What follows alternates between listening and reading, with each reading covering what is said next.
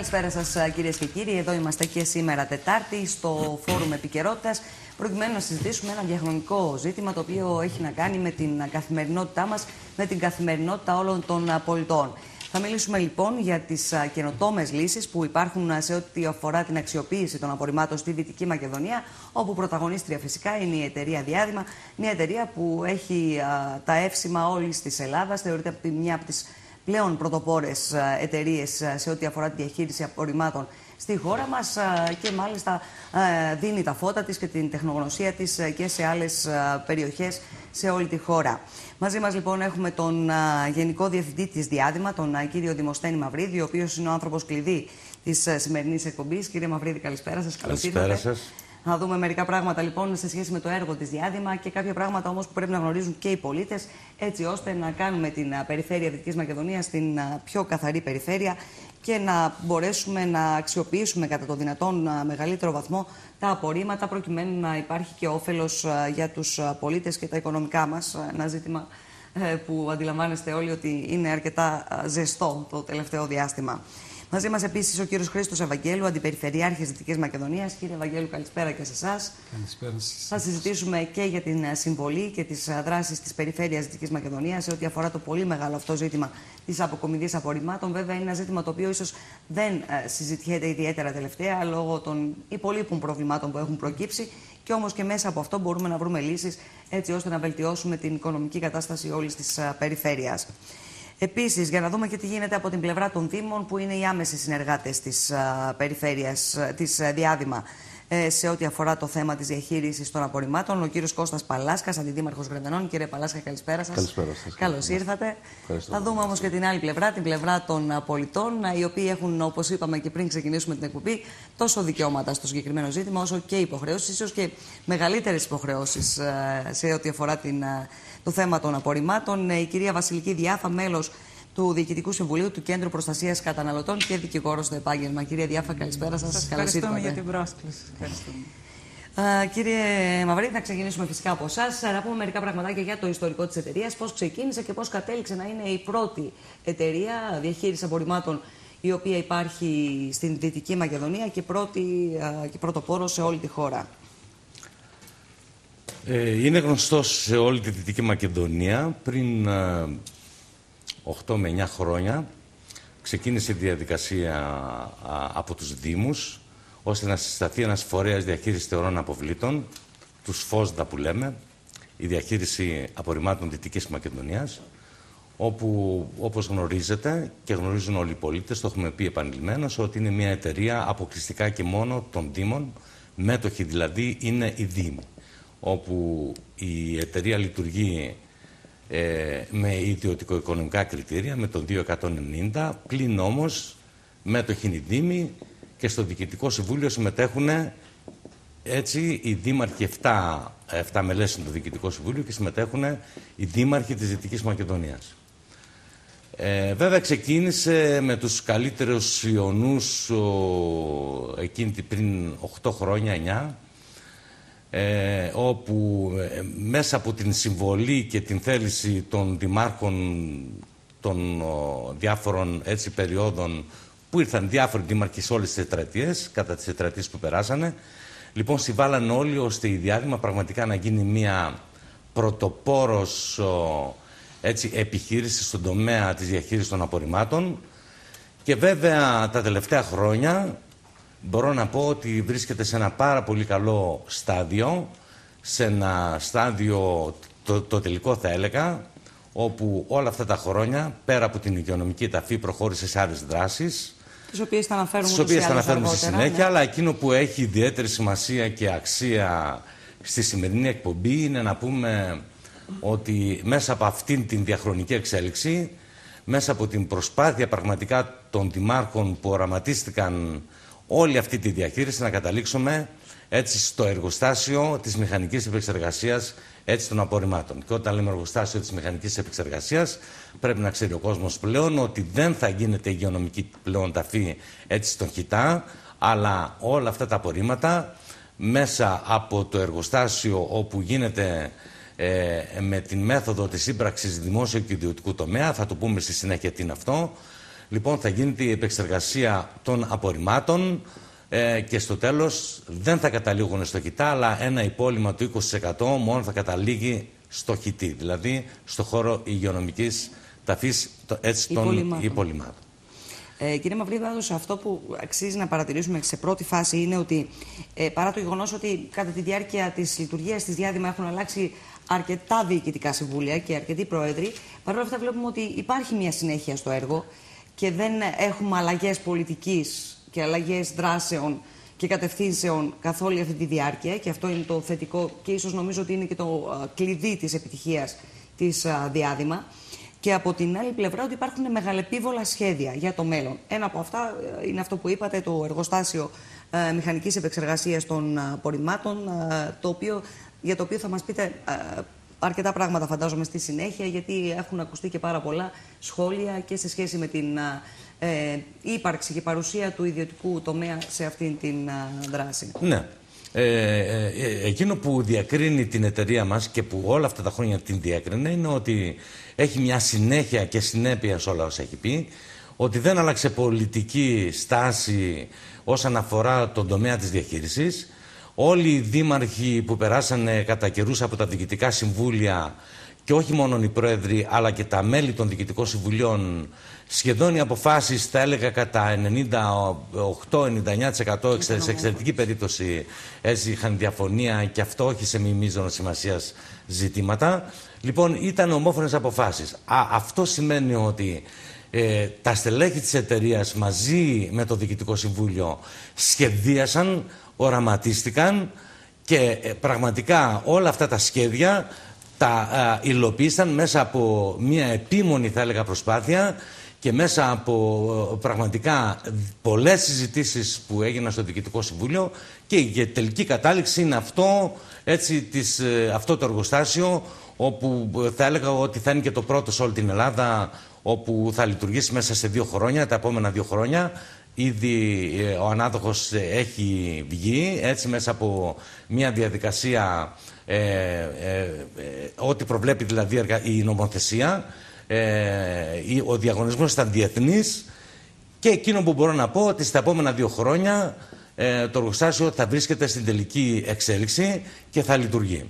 Ε, πήρε ένα βαθύτατο περιβαλλοντολικό έργο για το οποίο ε, βέβαια ε, είμαστε περήφανοι όλοι μας.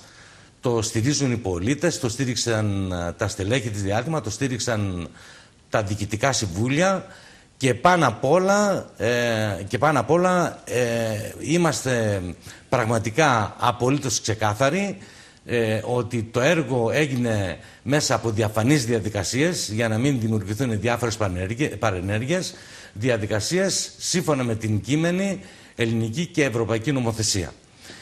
Ε, εκείνο που ε, πρέπει να πω ότι. κάποια προβλήματα όμως. Κοιτάξτε να δείτε. Θα τα δούμε στη συνέχεια όμως για να μπορέσουμε να κάνουμε έναν πρώτο κύκλο τοποθετήσεων. Δεν ξέρω αν θέλετε να προσθέσετε κάτι στην εισαγωγή ε, σας. τα, να πούμε λίγο τα προβλήματα. Τα προβλήματα κύρια ήταν διαδικαστικά προβλήματα. Δεν αφορούσαν την εξέλιξη, έτσι, την σωστή εξέλιξη της, της εταιρείας. Δηλαδή τη χαρτούρα, να το πω έτσι πολύ απλά. Αλλά απλά ήταν ζητήματα κύρια μεταξύ εταιριών όπου η λύση βρέθηκε στα, ευρωπαϊκά, στα δικαστήρια, στο ελεγκτικό συνέδριο, όπου πραγματικά απεφάνθη ποιος θα είναι ο ανάδοχος και έτσι με την απόφαση του ελεγκτικού συνεδρίου, λοιπόν, προχωρούμε σε αυτήν την διαδικασία. Ο ανάδοχος είναι η Άκτωρ, Άκτωρ Παραχωρήσεις, όπου πραγματικά έτσι εφαρμόζουμε εμείς την απόφαση του ελεκτικού συνεδρίου και τίποτα περισσότερο. Είμαστε σύνομοι και δεν κάνουμε τίποτα περισσότερο από αυτό που λέει το ελεκτικό συνέδριο. Ωραία. Κύριε Ευαγγέλου, ε, και εσείς ε, από την πορεία σας στα αυτοδιοικητικά πράγματα ε, παρακολουθήσατε την ε, εξέλιξη της διάδημας, συνεργαστήκατε μαζί της προφανώς και από τους, τις θέσεις που είχατε στο παρελθόν αλλά και από την θέση που έχετε τώρα με την αρμοδιότητα της διαχείρισης των απορριμμάτων στην περιφέρεια Δυτικής Μακεδονίας. Θα θέλαμε ένα σχόλιο σε σχέση με το πώς έχει αυτή η συνεργασία αυτή τη στιγμή και πώς θα μπορούσε να προχωρήσει ενδεχομένως ακόμη καλύτερα και στο επόμενο διάστημα. Επιτρέψτε μου να πω το εξής. Ε, να πω ότι η περιφέρεια είναι υπερευχαριστημένη, η περιφέρεια Δυτικής Μακεδονίας που είχε τη τύχη να έχει μια τέτοια εταιρεία, ανώνυμη εταιρεία η οποία συστάθηκε σχεδόν θα έλεγα με την έναρξη του Καποδίστρια. Ξεκίνησε πιλωτικά τότε με τους Δήμους ε, συγκεκριμένα τον Δήμο Φλόρινας, Δήμο Κοζάνης, Δήμο Πτολεμαίδος, Γρεβενών, Καστοριάς αρχικά και με, με τις, τις από ό,τι θυμάμαι, τις τοπικές ενώσεις των Δήμων και κοινοτήτων. Επειδή ακριβώς υπήρξε και εγώ στέλεχος στην εποχή εκείνη, κατά κάποιο τρόπο ήμουν ο Δήμαρχος του Δήμου Μελίτης, γνωρίζω την προσπάθεια την οποία καταβάλαμε όλοι μαζί, έτσι ώστε να συσταθεί και να στηθεί αυτή η σημερινή επιχείρηση, η διάδημα Δυτικής Μακεδονίας, ένα έργο το οποίο το ζηλεύει θα έλεγα η κάθε περιοχή διότι δεν υπάρχουν αντίστοιχα ε, ανάλογες δραστηριότητες ή ανάλογες αποδόσεις στα έργα στο επίπεδο της αποκομιδής των σκουπιδιών τόσο οργανωμένα στα, στις υπόλοιπες περιφέρειες της επικράτειας. Να πω επίσης ότι μέσα από τη διαδικασία αυτή, επειδή ακριβώς υπήρξε η σύμπνοια όλων αυτών των φορέων της τοπικής αυτοδιοίκησης, γλιτώσαμε, αν θέλετε, από εκείνο το μαύρο χάλι το οποίο είχαμε. Των χωματερών. Τις διάσπαρτες χωματερές. Των προστήμων. Το λιγότερο των 200 τόσο. Την διαρκή απειλή που είχαμε από πλευράς Ευρωπαϊκής Ένωσης ότι θα πρέπει να τελειώνει αυτή η ιστορία, θα πρέπει να βρεθεί λύση και ευτυχώς βρέθηκε και συστάθηκε η η διάδημα η οποία οργανώθηκε κατά το καλύτερο δυνατό τρόπο και είμαι ιδιαίτερα ευτυχής ακριβώς επειδή πέτυχε το σκοπό της. Από την πλευρά της περιφέρειας θα έλεγα παλιότερα της, ε, της περιφέρειας της ε, κρατικής να το πω και στη συνέχεια με τη διαδοχή με την σημερινή μορφή της αιρετής περιφέρειας κάναμε ό,τι καλύτερο μπορούσαμε σε επίπεδο συνεργασίας εντάξαμε όλα εκείνα τα έργα τα οποία αν θέλετε αφορούν είτε εξοπλισμό είτε διαδικασίες ε, γιατί ο εξοπλισμός είναι τεράστιος, έτσι, να μην ε, το ξεχνάμε Απλά και θα αυτό. πω ότι πρόσφατα μόλις ε, θα τα πει εξάλλου είναι Εντάξει, θα τα πούμε στη συνέχεια. Να εντάξει, πω ναι. ότι Όχι, δεν είναι. μπορεί να τα πρόσφατα πετύχεις. έγινε μία διανομή 30 τόσων ε, Απορριμματοφόρων. απορριμματοφόρων, έτσι, τα οποία είναι ε, άλλα συμπίεσης, πώς τα λέμε και τα λοιπά. Ε, επίσης ε, τα διαλογής, ε, ε, τα ειδικά οχήματα τα οποία παραχωρήθηκαν είτε πρόκειται για το γυαλί είτε για το χαρτί, τα, τα διαχωριστικά αυτά ε, κομμάτια τα οποία λειτουργούν για πρώτη φορά στη Δυτική Μακεδονία. Επισκέφτηκα και άλλες περιοχές αλλά δεν το έχω δει. Δεν ξέρω εάν έχουν προχωρήσει στην, ε, ε, στον διαχωρισμό θα έλεγα των ε, απορριμμάτων στη πηγή έτσι ώστε να αποκτήσουν και μια οικολογική συνείδηση αν θέλετε ξεκινώντας από τις μικρές κοινωνίες για να μπορέσουμε να γλιτώσουμε από τεράστια προβλήματα τα οποία είχαμε στο παρελθόν. Διάσπαρτα ανά την φύση, έτσι, που ξέρουμε όλοι ότι βρίσκουμε πλαστικά, βρίσκουμε μπουκάλια γυάλινα και, και τι δεν βρίσκουμε. Δυστυχώς, κύριε Αυτό Ευαγγέλου, είναι ένα θέμα το οποίο πονάει πάρα πολύ την ε, θα το ελληνική δούμε στη κοινωνία, συνέχεια, νομίζω. να μην ε, επεκταθώ περισσότερο. Ε, εκείνο το οποίο θέλω να τονίσω, να πω για άλλη μια φορά ότι είμαστε ιδιαίτερα ευτυχείς που λειτουργεί στην Δυτική Μακεδονία μια τέτοια επιχείρηση Την ίδια στιγμή η οποία που- μπορεί και προχωράει όλο και κάτι καινούριο και μάλιστα με τη διαδικασία αυτή την οποία ανέφερε ότι θα έχουμε την δυνατότητα να λειτουργήσει το εργοστάσιο αυτό το οποίο προγραμματίζεται. Από ό,τι έχω διαβάσει κύριε Πρόεδρε νομίζω ότι έχει αδειοδοτηθεί κιόλας Ναι, διευθύνηση. από την ΡΑΕ κιόλας. Είναι το- είναι το επόμενο κομμάτι, το οποίο θα επόμενο πούμε στη κομμάτι. συνέχεια. Λοιπόν, Έτσι. αλλά ε, ας το αναπτύξετε εσείς. Ναι. Αυτό είναι το ευχάριστο. Θα ότι θα σχολιάσουμε μπορέσει- στη έτσι, συνέχεια. βεβαίως. Κύριε Παλάσκα, εσείς εκ των πραγμάτων, οι Δήμοι εννοώ εσείς, είστε σε άμεση επαφή και συνεργασία με την ε, διάδημα. Ε, βέβαια, αυτό που έχουμε ακούσει από αρκετούς συναδέλφους σας είναι το θέμα του κόστους ε, της μεταφοράς, αποκομιδής και ε, ε, κατάληξης των απορριμμάτων. Είναι ένα ζήτημα που προβληματίζει πραγματικά τις δημοτικές αρχές, που αναγκάζεστε εκ των πραγμάτων επίσης να επιβάλλετε τα αντίστοιχα τέλη προς τους δημότες σας. Πετε μας λίγο, τι ισχύει ε, σε αυτή την κατεύθυνση. Εγώ καταρχήν θα ήθελα να σας ευχαριστήσω που για ακόμη μια φορά μας καλέσατε εδώ στην εκπομπή σας. Ε, περιφερειακούς δήμους και κάποιους θεσμικούς φορείς να εκφράζουν απόψεις και προβληματισμούς. Τιμά ιδιαίτερα εσάς και το κανάλι σας. Ευχαριστούμε πολύ. Ε, όσον αφορά τώρα την ε, διαδημά και τη συνεργασία που έχουμε, αυτό το διάστημα του 1,5 χρόνου περίπου που έκτελω τα καθήκοντα σαν αντιδήμαρχος, νομίζω έχουμε μια υποδηματική συνεργασία όσον αφορά τόσο την αποκομιδή των ε, σκουπιδιών και της ανακύκλωσης, όσον αφορά και τη μεταφορά και γενικά την εξυπηρέτηση των δημοτών, που αυτός είναι ο απότερος σκοπός και στόχος μας. Νομίζω ότι τα όποια μικρά προβλήματα τα αντιμετωπίζουμε άμεσα. Οι πολίτες πραγματικά αποδέχονται και είναι ευχαριστημένοι, ειδικά τελευταία με την ανακύκλωση, γιατί επεκτείναμε πέρα από την ανακύκλωση χαρτιού και αλουμίνιο και πλαστικό κτλ. Και γυαλί. Και γυαλί. Ε, βγήκαμε και έξω από την πόλη, ήδη σε μεγάλα τοπικά διαμερίσματα τοποθετήσαμε κάδους ανακύκλωσης. Η ζήτηση είναι ότι όλοι οι δημότες και ειδικά τους καλοκαιρινούς μήνες. Κύριε Παλασκά, ε, ναι. θέλω θα περάσουμε στα θέματα της ανακύκλωσης, γιατί ε, ναι. και οι δημότες θα πρέπει να είναι γνώστε. Ναι. Θέλω όμως να μείνουμε λίγο στο θέμα του κόστους. Ναι, ναι. Όσον αφορά το κόστος το οποίο λέτε, νομίζω ότι με τις πρωτοποριακές ενέργειες που γίνονται από τη μεριά της Διαδημά, νομίζω ότι το κόστος θα μικρύνει όσον αφορά τους Δήμους. Αυτή τη στιγμή θεωρείτε ότι είναι μεγάλο και δυσβάσταχτο για τους δημότες σας; Ε, θεωρώ ότι εμείς τα τελευταία χρόνια δεν έχουμε αυξήσει τα τέλη καθαριότητας κτλ. Παραμένουν τα ίδια. Σίγουρα η συγκεκριμένη συγκυρία και η κρίση που υπάρχει δυσκολεύει τους δημότες να ανταπεξέλθουν έστω και σε αυτές τις άμεσες ανάγκες, παρόλο που το κόστος παραμένει σταθερό και το ίδιο. Ε, προσπάθειά μας είναι και συνεργασία με τη Διαδημά, όσο γίνεται Πέστε να μου λίγο, πόσο δαπανά ο Δήμος ε, Γρεβενών, ε, ετησίως. Ετησίως, γύρω στις 385.000 ευρώ. 385.000 ευρώ. Και 485. 485. Ναι. Είναι αρκετά μεγάλο το ποσό. Ε, και θέλω να περάσουμε στη συνέχεια στα θέματα της ανακύκλωσης, γιατί ε, με την ανακύκλωση μπορούμε να μειώσουμε αυτό το ποσό. Μπράβο, το οποίο ακούγεται αρκετά μεγάλο. Ότι...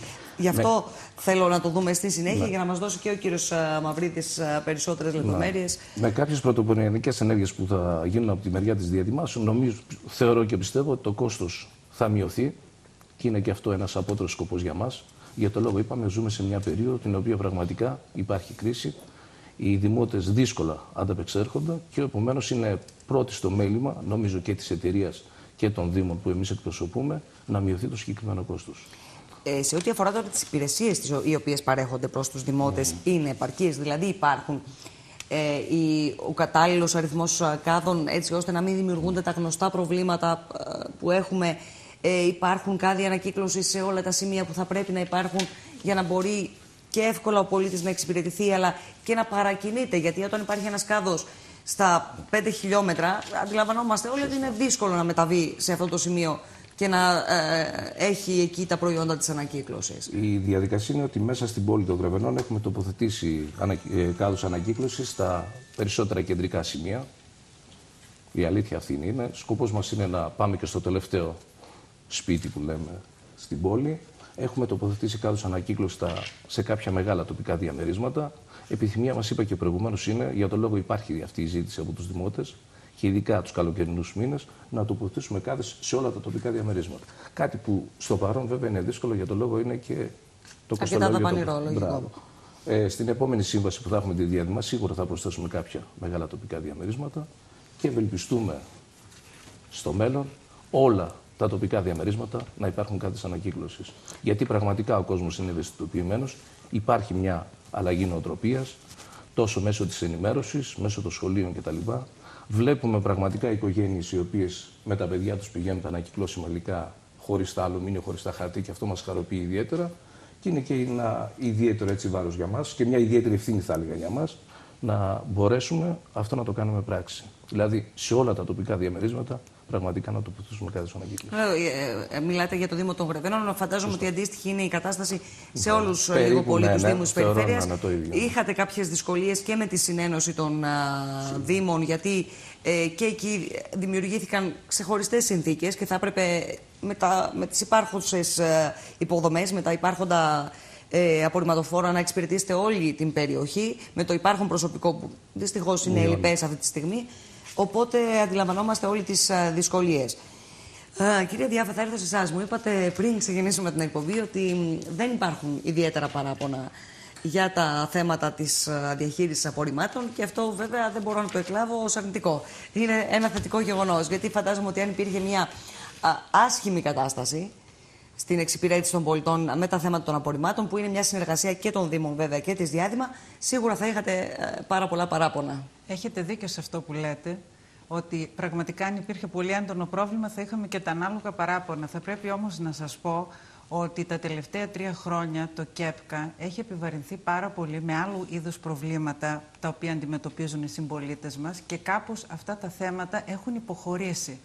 Δεν μπορούμε δηλαδή να έχουμε ένα ασφαλές συμπέρασμα αν οι συμπολίτες μας έχουν πραγματικό παράπονα, πραγματικά παράπονα ή δεν έχουν παράπονα.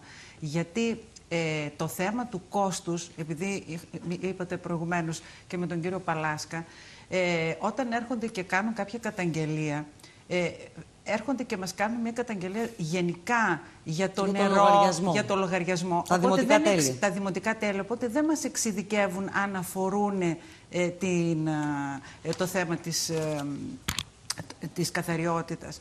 Αν Περισσότερο- λάβουμε υπόψη πάντως ότι για τον Δήμο Γρεβενών, για παράδειγμα, το ποσό το οποίο δαπανάτε ε, ετησίως είναι περίπου μισό εκατομμύριο ευρώ, αντιλαμβανόμαστε όλοι ότι όλα αυτά προέρχονται από τις τσέπες των καταναλωτών. Σίγουρα και από εκεί ε, υπάρχει...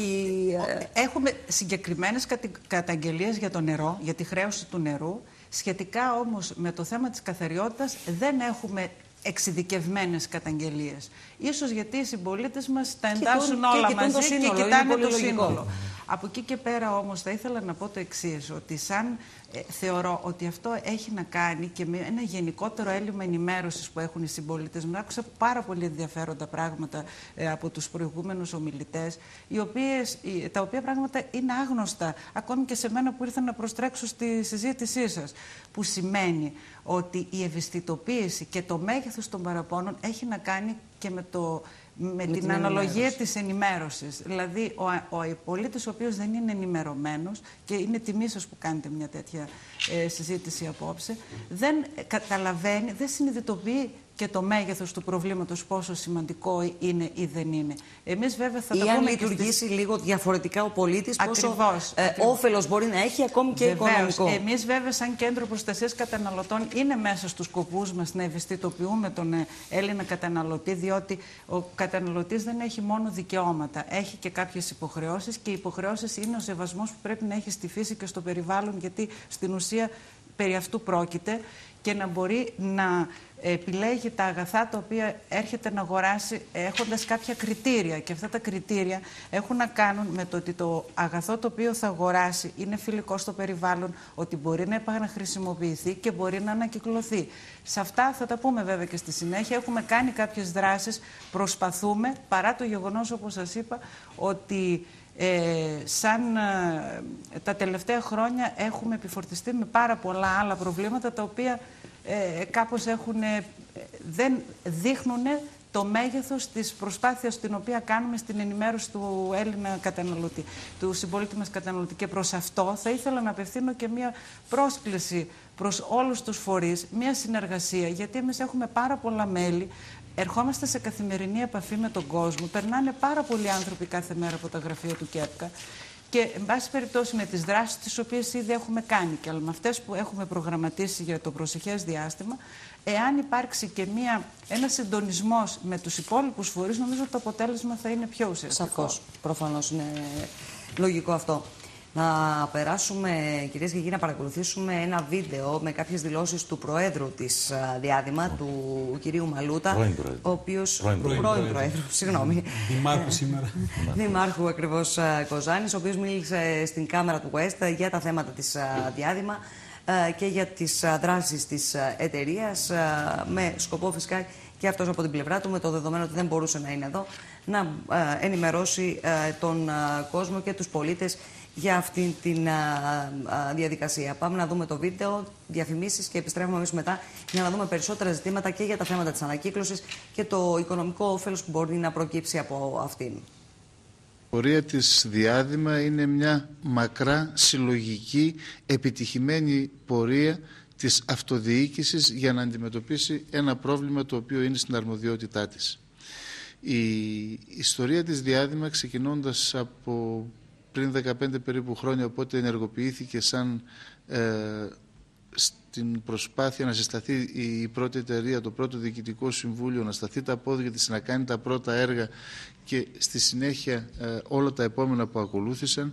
Έτσι ήταν μια ε, ε, ένας, μια πορεία που όπως είπα πριν συλλογική με πολλούς ανθρώπους, με όλους τους αυτοδιοικητικούς που συνέδρεμαν εκείνη την πρωτοβουλία προκειμένου με έναν πρωτοποριακό και με έναν καινοτόμο δρόμο, τρόπο να αντιμετωπίσουμε το θέμα της διαχείρισης των απορριμμάτων. Και ήταν καινοτόμος για πολλούς και διάφορους λόγους. Πρώτον, ήταν η πρώτη προσπάθεια σε τόσο μεγάλη έκταση να αντιμετωπιστεί η διαχείριση των απορριμμάτων συλλογικά. Ποτέ άλλοτε δεν ε, έγινε τέτοια προσπάθεια 61 οργανισμοί τοπικής αυτοδιοίκησης να συνεργαστούν, να υπογράψουν, ε, να συνενέσουν σε μια, να συσταθεί μια εταιρεία, να υπογράψουν μια προγραμματική σύμβαση και να αρχίσει να δραστηριοποιείται και να λειτουργεί αυτό που σήμερα ε, βλέπουμε σαν διάδημα.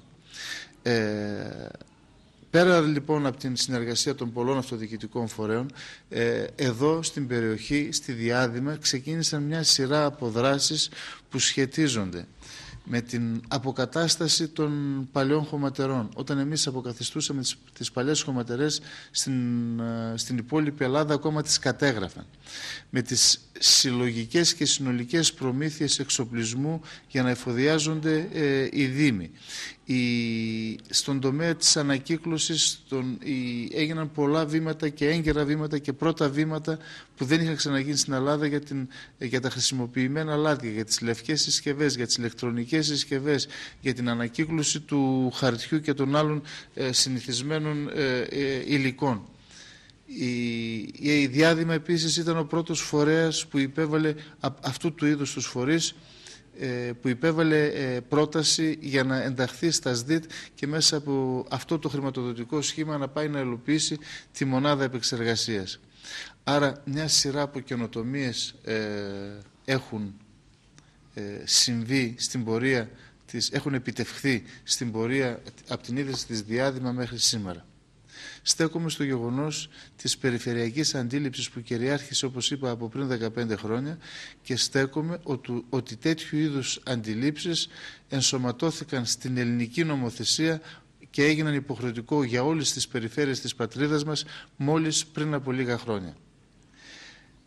Αυτήν λοιπόν είναι η, Αυτές λοιπόν είναι οι καινοτομίες της διάδημα και εγώ θεωρώ το ότι από εδώ και πέρα ξεκινάει μια νέα μεγάλη πρόκληση η πρόκληση να είναι η διάδημα εκείνη που θα ε, υλοποιήσει το έργο της μηχανικής επεξεργασίας των απορριμμάτων που θα οδηγηθεί σε ολοκληρωμένη αντιμετώπιση του προβλήματος των ε, απορριμμάτων που θα είναι πλήρως εναρμονισμένη όλη η Δυτική Μακεδονία με, την, ε, με τα κοινοτικά κεκτημένα σε ό,τι αφορά τη διαχείριση των απορριμμάτων όπου η Δυτική Μακεδονία, αυτός ο πανέμορφος τόπος θα είναι ο πρώτος που θα, είναι, ε, θα έχει απαλλαγή πλήρως από το βραχνά των απορριμμάτων, ο τόπος στον οποίο η προστασία του περιβάλλοντος θα έχει αναδειχθεί σαν την κορυφαία προτεραιότητα της λειτουργίας της αυτοδιοίκησης των κατοίκων και των φορέων της. Έχουμε λοιπόν ε, και άλλες προκλήσεις μπροστά μας και νομίζω το ότι ε, με πιο μικρά σχήματα τώρα, με πιο ευέλικτα, 12 όλοι και όλοι οι δήμοι στην ε, περιφέρειά μας, μπορούμε να προχωρήσουμε το ίδιο καινοτόμα, το ίδιο αναπτυξιακά, με, ε, βλέποντας στην Ευρώπη και όχι και, μη, και αφήνοντας πίσω μας τις κακές πρακτικές που εξακολουθούν να εφαρμόζονται και να υπάρχουν ακόμα στην πατρίδα μας.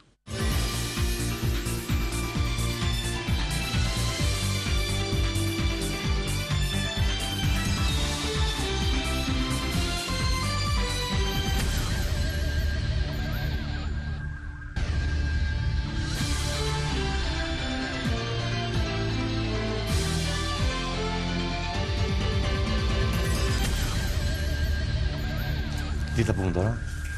Επιστρέφουμε στην εκπομπή μας, κυρίες και κύριοι. Ανοίξαμε διάφορα ζητήματα που έχουν να κάνουν με τη διάδημα, μιας και ρωτάει εδώ και ο Γενικός Διευθυντής. Και να πούμε λοιπόν και να προχωρήσουμε σιγά σιγά και στα θέματα της ανακύκλωσης, κύριε Μαυρίδη, γιατί είναι αρκετά τα ζητήματα τα οποία ε, πρέπει να γνωρίζουν και οι δημότες ε, και βέβαια να πούμε ότι μια σχέση για να λειτουργήσει πρέπει να είναι αμφίδρομη ε, και των πολιτών δηλαδή, αλλά και της εταιρείας και των δήμων και της περιφέρειας, προκειμένου να λειτουργήσει σωστά. Εγώ θα πω από την πλευρά μου ότι πραγματικά βλέπουμε ότι οι προσπάθειες που γίνονται από τη διάδημα είναι προς τη σωστή κατεύθυνση. Από την άλλη πλευρά το αποτέλεσμα ως προς τα ζητήματα καθαριότητας δεν είναι το καλύτερο δυνατό. Ε, ίσως με μεγαλύτερη ευθύνη και πάλι θα το πω των ίδιων των πολιτών, οι οποίοι δεν θέλουν να σέβονται ορισμένα πράγματα, δεν θέλουν να χρησιμοποιούν τη διαδικασία της ανακύκλωσης, η οποία έχει διαδοθεί ευρέως. Ε, ας κάνουμε λοιπόν μια προσπάθεια ακόμη μέσα και από αυτή την εκπομπή να ενημερώσουμε τους πολίτες για το πόσο όφελος θα υπάρξει από την πλευρά του περιβάλλοντος και από την οικονομική πλευρά, θα το τονίσω και πάλι, για να δημιουργούμε και κίνητρα, αν χρησιμοποιούν σωστά τις υπηρεσίες της διάδημα. Ε, κοιτάξτε να δείτε. Το ζήτημα της ανακύκλωσης καταρχάς ξεκίνησε από τη διάδημα ως διαλογή στην πηγή και τότε σε όλη την Ελλάδα ήταν η πρώτη που έκανε αυτή την διαδικασία, δηλαδή εφάρμοσε την τετραπλέτα, ξεχωριστά δηλαδή το γυαλί, το χαρτί, το αλουμίνι και το πλαστικό. Τέσσερις κάδοι, οι οποίοι ε, έτσι ο κάθε ο πολίτης τοποθετεί τα ανακυκλώσιμα υλικά στους ανάλογους κάδους. Αυτή η διαδικασία πραγματικά ξεκίνησε ε, δειλά, αλλά στη συνέχεια όμως αναπτύχθηκε με γοργούς ρυθμούς και σήμερα όλη η Δυτική Μακεδονία κάνει ε, την ανακύκλωση, την διαλογή στην πηγή. Μπορώ να πω το κάνει με απόλυτη επιτυχία.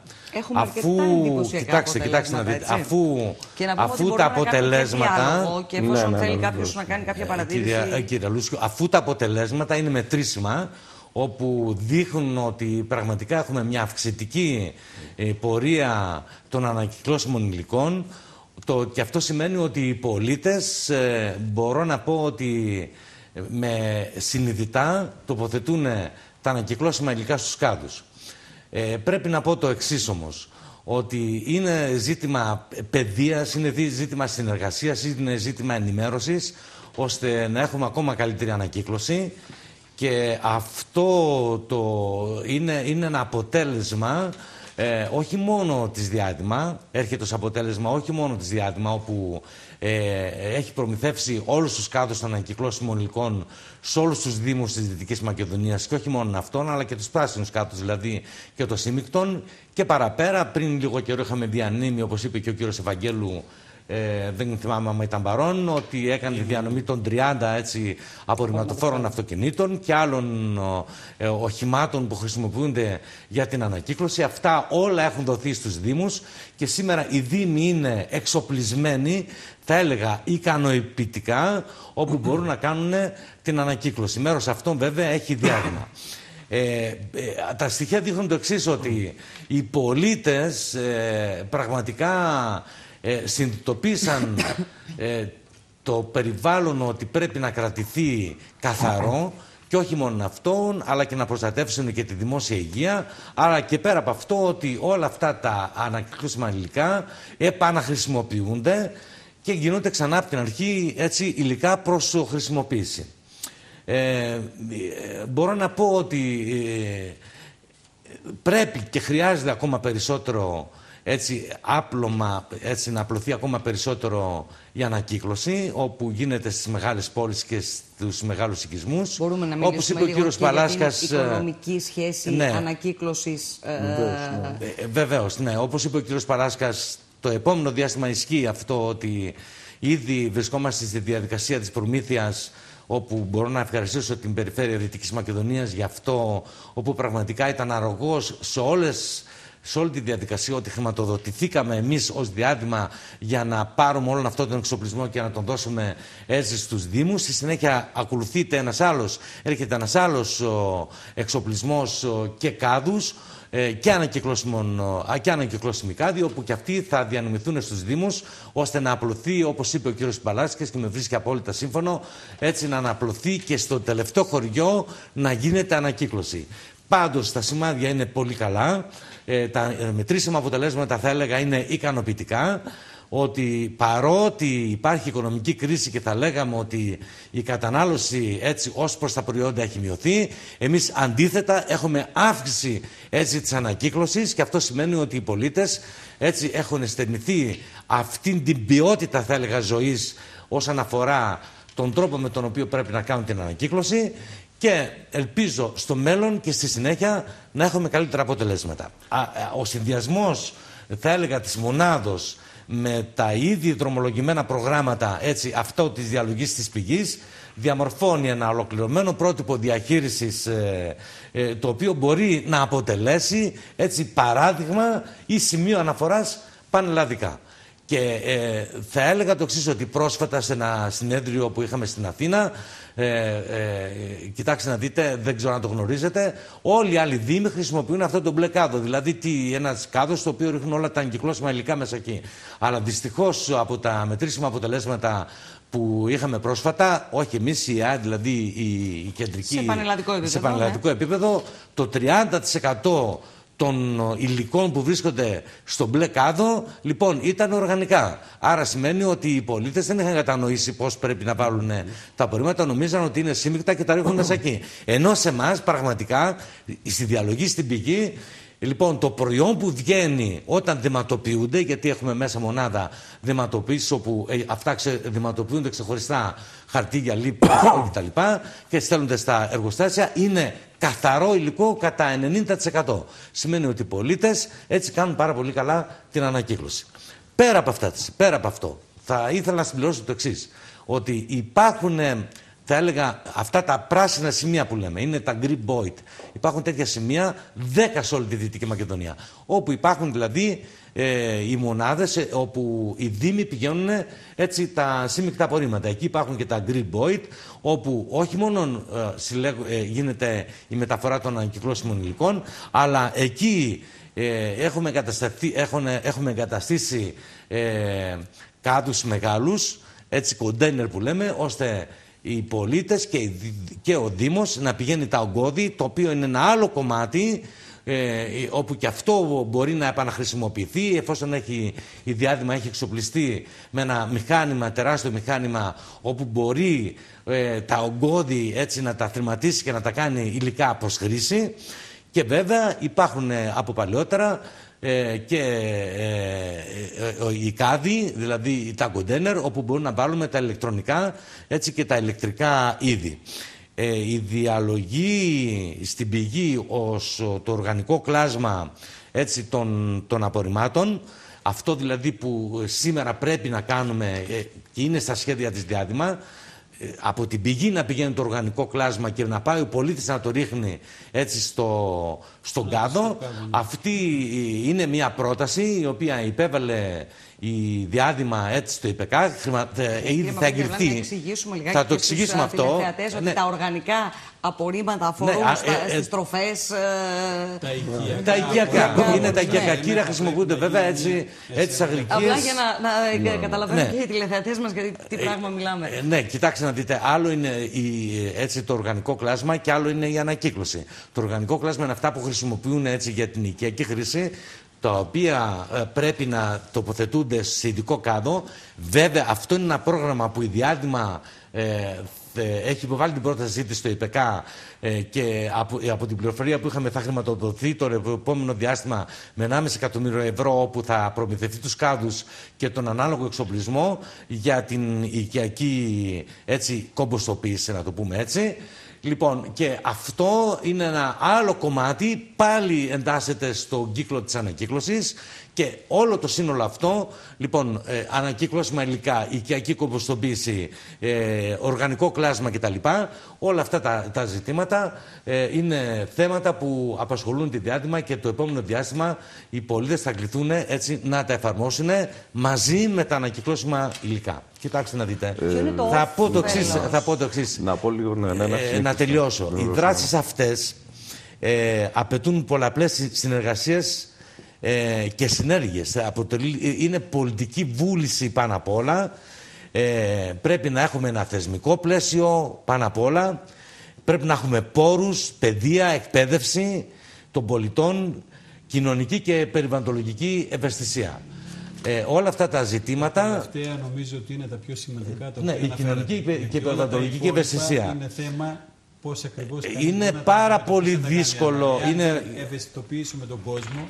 Εκεί πρέπει Έτσι, να ναι. σταθούμε λιγάκι. Εκεί πρέπει να σταθούμε, ναι. Εγώ θέλω. Ε, Εγώ θέλω να πω να- το εξή. να- Είναι να- πάρα Κύριε πολύ Μαυρίδη. δύσκολο ε, ένα σύστημα ε, ε, όπου ε, είχε του σκητά που είπε προηγούμενα ο Δήμαρχος έτσι στην ε, ομιλία του που είπε ο Δήμαρχος της Κοζάνης ότι 207 χωματερές τις κλείσαμε ε, εδώ και 6-7 χρόνια όταν, όταν οι άλλοι ακόμα πληρώνουν προστήματα για χωματερές είναι πάρα πολύ δύσκολο έτσι να πάμε από την μία από, από την μία μέθοδο να πάμε σε μία άλλη που χρειάζεται έτσι χρόνος ορίμασης, χρειάζεται... Από τη μία άκρη στην άλλη. Από τη μία Ε, άκρη στην άλλη, έτσι. κύριε Παλάσκα. Όλα αυτά τα πράγματα Ε, πρέπει να, να έχουν Το ορίμαση. ότι έχουν ευαισθητοποιηθεί οι πολίτες φαίνεται καθαρά το ότι έχει μειωθεί κατά μεγάλο ποσοστό και ειδικά και στο Δήμο μας τα σύμμικτα απορρίμματα και έχουν αυξηθεί τα ανακυκλώσιμα υλικά.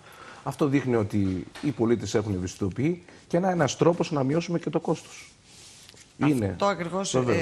ε, θέλω Αυτό να είναι πούμε ζητούμενο. λιγάκι. είναι και το θεωρώ. ζητούμενο στη διαδικασία να καταλάβουν οι δημότες ότι όσο εφαρμόζουν την ανακύκλωση έχουν και μειωμένη ε, κόστος όσον αφορά τα ανταποδοτικά τα οποία δίνουν για την καθαριότητα. Αυτό είναι πάρα πολύ σημαντικό και ε, έχει να κάνει και με την τσέπη των καταναλωτών. Δηλαδή, όσο περισσότερα υλικά ανακυκλώνονται, τόσα περισσότερα ε, θα είναι τα ωφέλη, Τα ωφέλη και για σε το Δήμο και οικονομικό για τους επίπεδο ίδιους, για κατά πάρα επέκταση πολλές, για τους Πιο ε, αποτελεσματική καθίσταται και η προσπάθεια.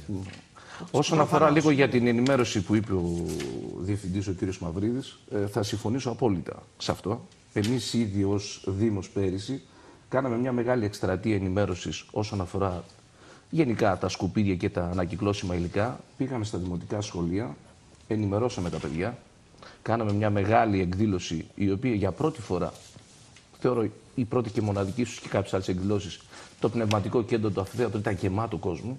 Αυτό δείχνει ότι ο κόσμος ενδιαφέρεται, πολύ παρήγορο. θέλει να μάθει. Φέτος υπάρχει ζήτηση των ίδιων των παιδιών να ξανασυνεχίσουμε το ίδιο πρόγραμμα. Το οποίο βέβαια φέτος θα πάμε στα γυμνάσια και τα λύκεια να το συνεχίσουμε το συγκεκριμένο πρόγραμμα. Γιατί πραγματικά είχε μεγάλη απήχηση.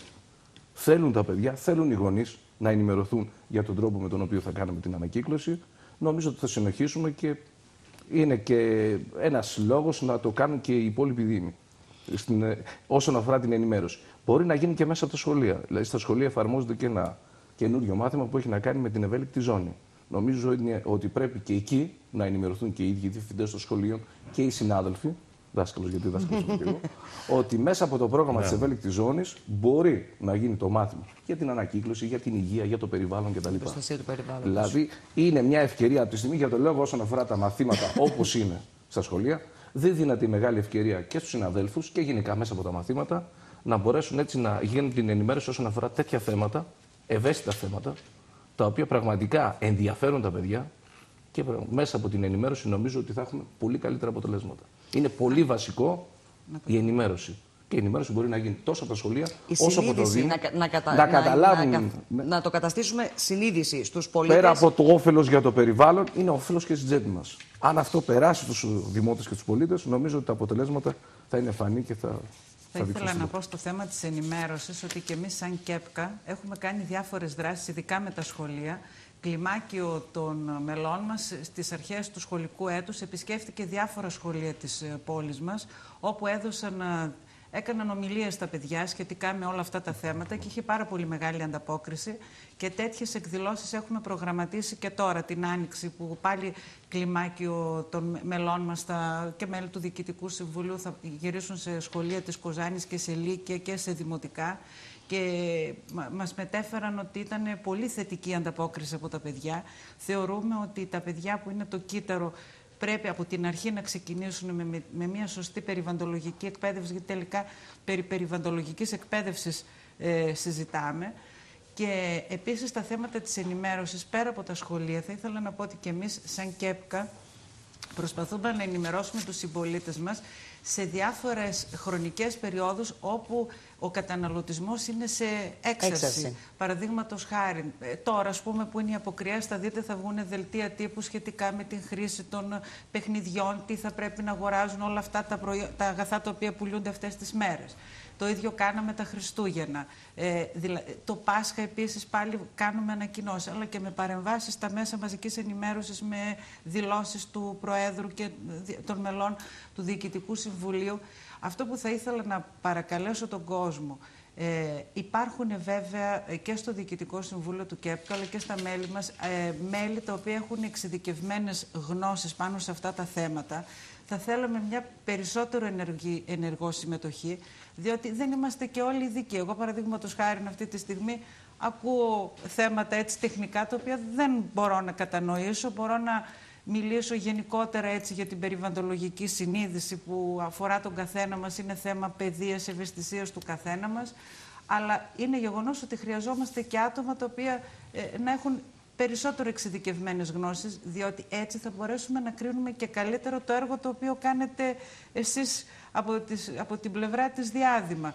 Άρα Απα- ε, το ζητούμενο είναι και η συνεργασία μεταξύ των φορέων και Βεβαίως, η αυτό προσέγγιση το είπα του και ενός προς τον προηγουμένως. άλλο. Βεβαίως και εμείς έχουμε κάθε καλή διάθεση να συνδράμουμε με κάθε μέσο το οποίο έχουμε, διότι όπως σας είπα και στον πρώτο γύρο που είχαμε κάνει τη, στη συζήτησή μας, ε, μιλάμε με πάρα πολύ κόσμο, έχουμε τη δυνατότητα ε, να συνδράμουμε με κάθε μέσο το οποίο έχουμε, ε, ε, διότι είμαστε ευαισθητοποιημένοι ως Ένωση Καταναλωτών πάνω σε αυτά τα θέματα και θεωρούμε ότι η διάδημα ε, αυτή τη στιγμή ε, δεν είναι απλά ένας φορέας ο οποίος ανακυκλώνει τα απορρίμματα.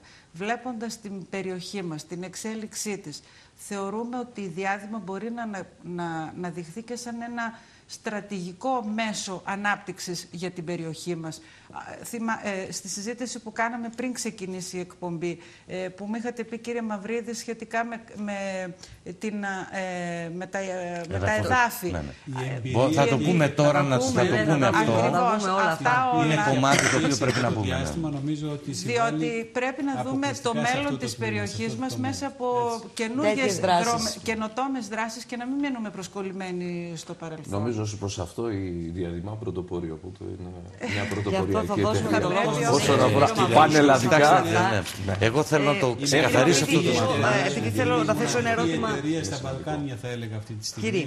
η οποία έχει αποτελέσματα αυτού του Κύριε είδους. Ευαγγέλου, ε, εγώ θέλω να ρωτήσω όμως το εξής, μιας και μιλήσαμε πο- αρκετά εδώ ε, για τα θέματα της ε, ε, προβολής του όλου έργου της ε, Διάδημα, έτσι ώστε να καταστήσουμε συνείδηση στον κόσμο ότι το περιβάλλον είναι κάτι το οποίο πρέπει όλοι να σεβόμαστε και βέβαια όσο περισσότερο προχωράμε σε δράσεις όπως για παράδειγμα η ανακύκλωση ή ε, το πολύ απλό που δυστυχώς δεν το βλέπουμε να γίνεται στην ύπεθρο της Δυτικής Μακεδονίας, να μην πετάμε τα σκουπίδια μας, να μην αφήνουμε τα σκουπίδια μας όπου βρεθούμε και όπου σταθούμε. Αυτό δεν έχουμε καταφέρει να το κάνουμε ακόμα.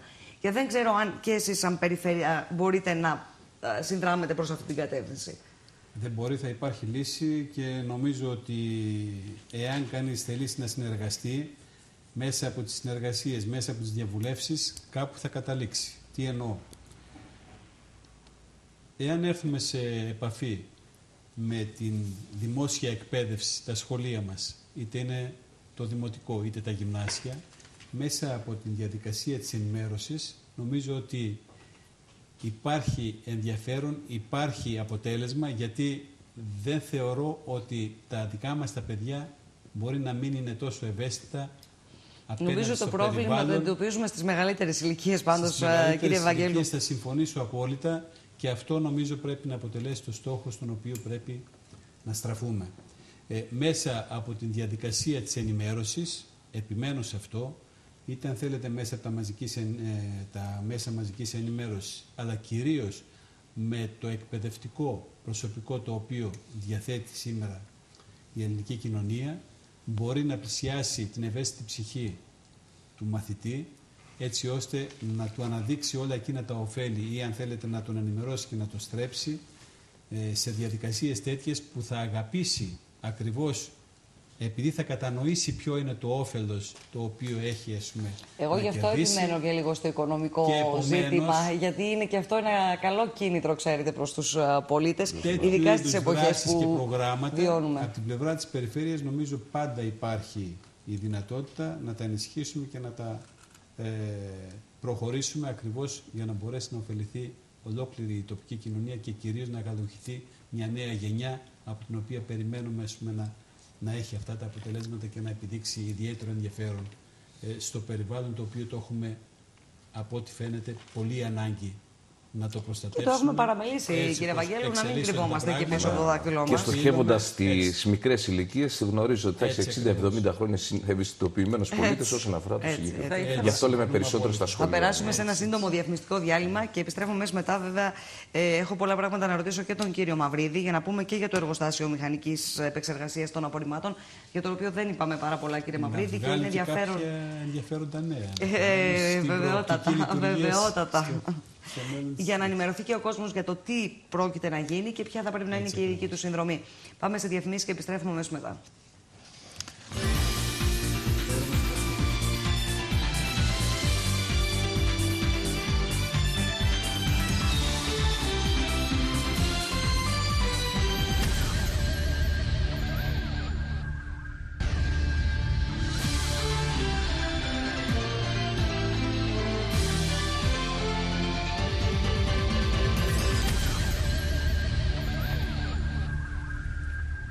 Επιστρέφουμε κυρίες και κύριοι στην εκπομπή μας για τα θέματα της διαχείρισης απορριμμάτων α, σε σχέση με την α, διάδημα, την α, εταιρεία η οποία ε, κατέστησε γνωστό σε, όλη την, α, σε όλο το Πανελλήνιο ότι μπορεί να γίνει μια διαφορετική διαχείριση των α, απορριμμάτων α, στην α, χώρα μας. Α, Θέλουμε όμως να μάθουμε και για τα σχέδια τα μελλοντικά.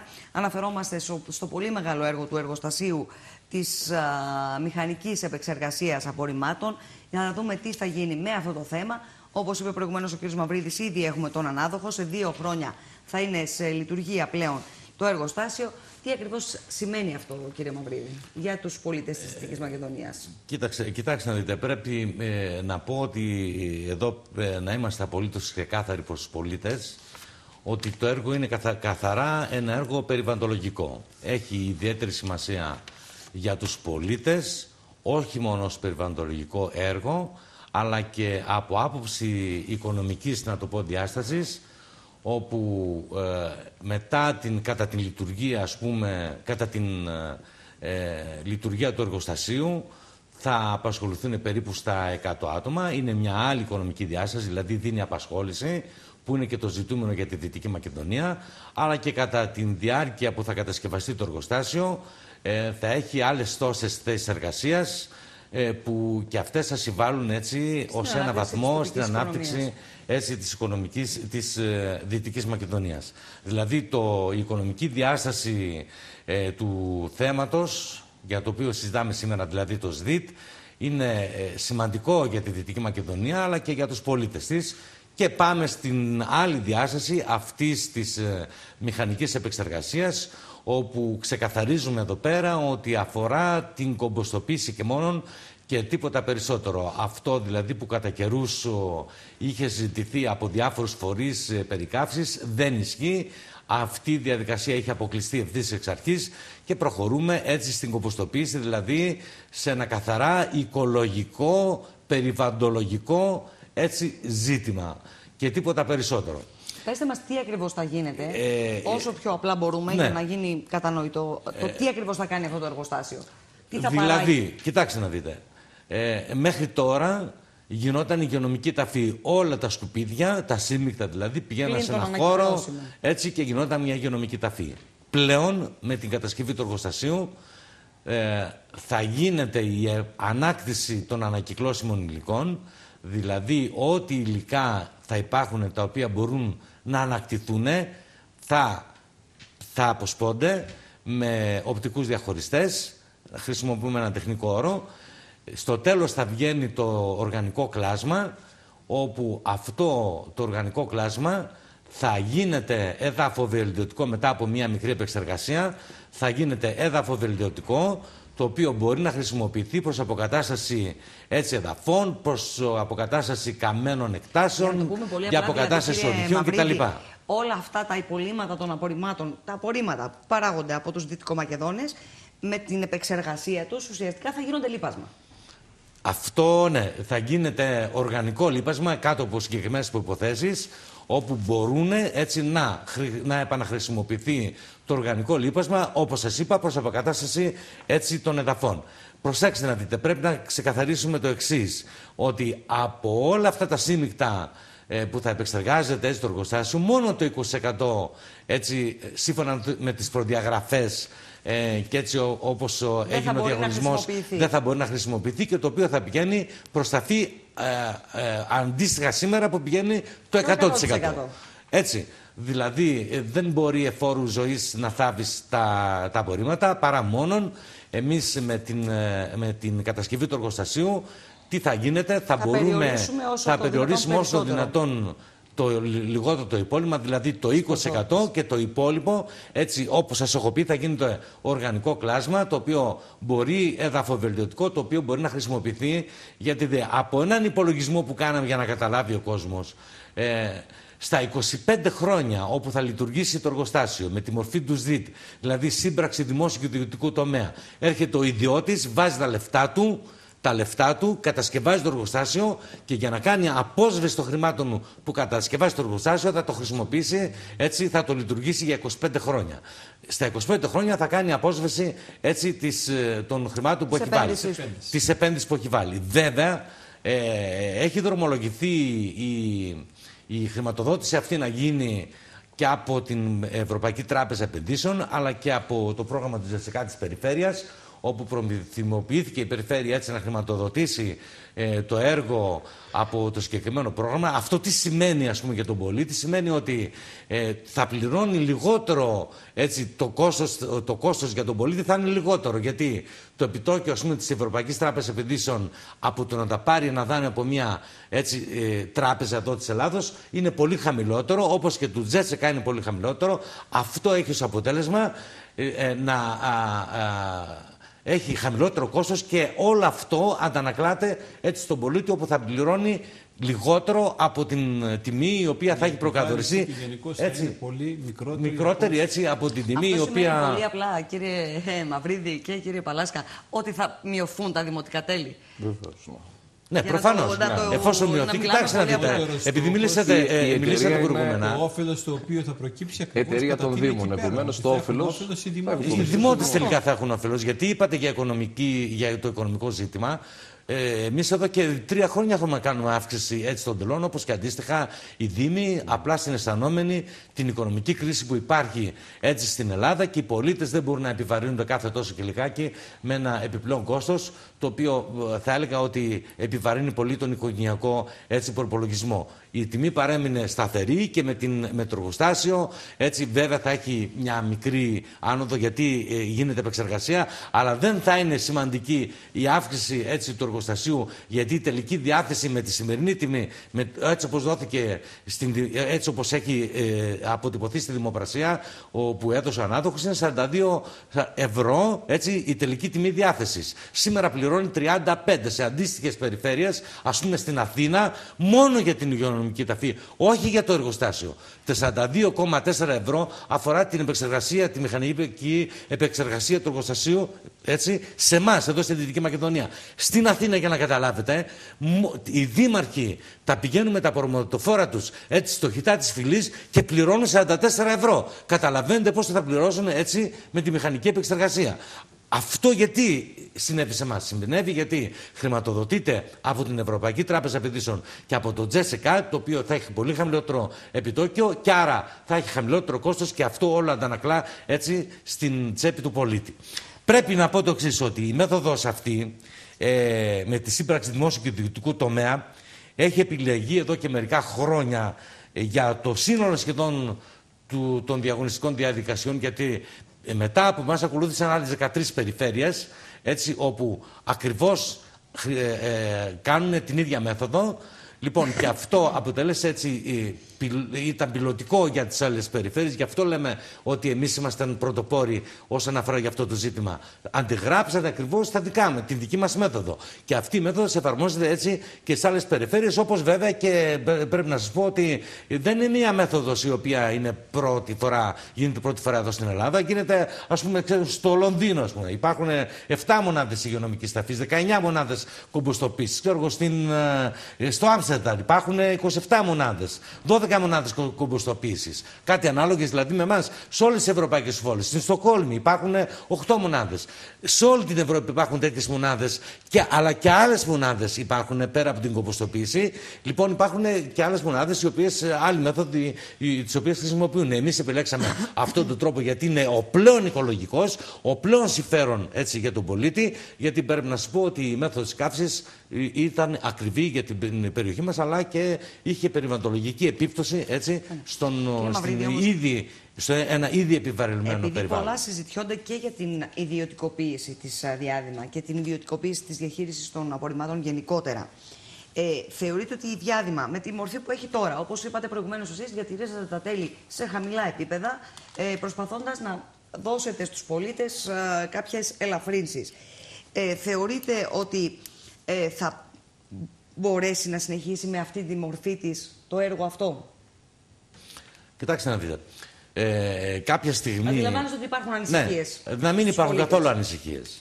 Διαβεβαιώνω στους, τους πολίτες της Δυτικής Μακεδονίας και αυτό το, λέμε, το λέω με απόλυτη επίγνωση έτσι τον, τον λόγο μου αλλά και βέβαια δεν είναι μόνο δική μου άποψη, είναι και έτσι άποψη όλων των δημάρχων, έτσι και των πολιτών φαντάζομαι, ότι είναι ένα έργο άκρος περιβαλλοντολογικό, ένα έργο χρήσιμο για την Δυτική Μακεδονία. Και βέβαια πρέπει και είμαστε και υποχρεωμένοι να πορευτούμε σύμφωνα με την ευρωπαϊκή και την, την ευρωπαϊκή νομοθεσία και δεν μπορούμε να παραμένουμε στάσιμοι έτσι στην υγειονομική ταφή αυτών. Σε όλη την Ευρώπη, όπως σας είπα προηγούμενα, σε όλες τις ε, σύγχρονες ευρωπαϊκές πόλεις υπάρχουν τέτοια εργοστάσια. Εδώ και 50 χρόνια γίνονται αυτά που σήμερα εμείς προσπαθούμε να κάνουμε και που βέβαια μετά από δύο χρόνια θα αλλοιοποιηθούν και επομένως ως σύγχρονη, ε, σύγχρονη ευρωπαϊκή χώρα και εσύ πολίτες της Ευρώπης δεν μπορούμε να μείνουμε αμέτωχοι στο ζήτημα αυτό του περιβάλλοντος όπου εάν έτσι παραμένουν όπως έχουν θα επιβαρύνουν κατά πολύ μεγάλο βαθμό έτσι, το περιβάλλον για το οποίο πρέπει και είμαστε υποχρεωμένοι έτσι, να το προστατέψουμε όλοι. Ε, τώρα, όσον αφορά για την ιδιωτικο, ιδιωτικοποίηση. και μόνο που λέμε ναι. σύμπραξη ιδιωτικού δημοσίου Μα, τομέα. να δείτε. Το μυαλό μας όλων ε, πάει. ακολουθούν, σας είπα, 13 τέτοια σχήματα. Σύμπραξη δημόσιου και ιδιωτικού τομέα και δεν είμαστε οι μόνοι. Σε όλη την Ελλάδα γίνεται το ίδιο πράγμα. Και βέβαια θα πρέπει κάποια στιγμή να απαλλαγούμε έτσι ως χώρα και ως, να πω και ως φορείς ότι τα πάντα να τα περιμένουμε από το κράτος και τα πάντα θα πρέπει να είναι κρατικά. Όχι. Η διάδημα τι θα κάνει σε αυτή την περίπτωση; Ναι μεν, ε, ναι, μεν θα το πάρει ο, η ανάδοχος εταιρεία η οποία θα το λειτουργήσει για 25 χρόνια και σε συνέχεια θα το επιστρέψει πάλι αυτούσιο στην διάδημα, ολόκληρο στην διάδημα και θα το λειτουργήσει. Αλλά όμως η διάδημα έχει ένα ρόλο, συγκεκριμένο ρόλο τον, και ο ρόλος της είναι ε, καταλητικός θα έλεγα όσον αφορά για τον τρόπο λειτουργίας όσον αφορά αν κρατεί τους περιβαλλοντολογικούς όρους, εάν είναι σύνομος. Για τους οικονομικούς όρους. Για τους, και τους οικονομικούς Εδώ δόθηκε μια τιμή, 42 ευρώ σας είπα, η οποία είναι νομίζω ε, μια τιμή. Δεν είναι απογορευτική έτσι, για τους πολίτες, άλλωστε δεν μπορούμε να κάνουμε και διαφορετικά. Και θα δείτε ότι, και το λέμε αυτό με, με επίγνωση λόγου, ότι τα επόμενα ζήτητα που ακολουθούν και ήδη ανήθηκαν οι άλλες προσφορές, λοιπόν, εμείς είμαστε πιο φθηνοί από όλους. Έτσι, από όλα τα ΣΔΙΤ. Ε, δεν θα μπορούσε πάντως αυτό το έργο να γίνει καθαρά από το δημόσιο, έτσι; Όχι βεβαίως. Μα δεν έχει μεγάλο κόστος το δημόσιο, δεν έχει λεφτά, άπειρα λεφτά να ξοδέψει. Η καινοτομία της ε, διαδικασίας αυτής είναι ότι καλεί τον ιδιώτη που έχει τα λεφτά και του λέει: Κάνε αυτό το εργοστάσιο, δούλεψέ το, θα σε ελέγχουμε εμείς με συγκεκριμένους όρους Από εκεί και πέρα δεν μπορεί να κάνεις εσύ ό,τι θέλεις, ούτε μπορεί να αυξήσεις εσύ το τίμημα όπως θέλεις. Για να το αυξήσεις αυτό θα πρέπει να υπάρχουν συγκεκριμένες προποθέσει και να έχει και τη δική μας σύμφωνη γνώμη. Άλλωστε η τιμή είναι προδιαγεγραμμένη και έχει μια οριζόντια, σε άλλες περιπτώσεις, οριζόντια τιμή για 25 χρόνια. Και σε εμάς, προσέξτε να δείτε, το 50% χρηματοδοτείται από το κράτος. Το 50% χρηματοδοτείται από το κράτος. Αυτό σημαίνει ότι ο πολίτης θα πληρώνει μόνο 42 ευρώ σε αντίστοιχα άλλες περιπτώσεις όπω πληρώνει 65 και παραπάνω. Άλλωστε, επεξεργασία κάνουμε εδώ πέρα. Δεν κάνουμε τίποτα διαφορετικό. Αυτό πρέπει να γίνει κατανοητό από όλους τους πολίτες ότι ε, η διάδημα κρατάει τον ρόλο της, το συγκεκριμένο της ρόλο ε, όσον αφορά τον τρόπο με τον οποίο γίνεται αυτή η επεξεργασία, όσον αφορά τους περιβαλλοντολογικούς όρους, όσον αφορά την τιμή, αν θέλετε, όσον αφορά τα ανακυκλώσιμα υλικά της ποσοστώσης κτλ.